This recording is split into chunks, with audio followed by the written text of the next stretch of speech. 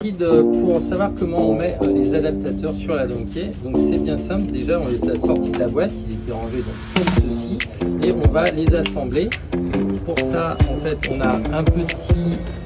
Euh, faut trouver l'encoche, comme ça. Si elle va pas dans un sens, elle va dans l'autre. Hop, et après on tourne, clac.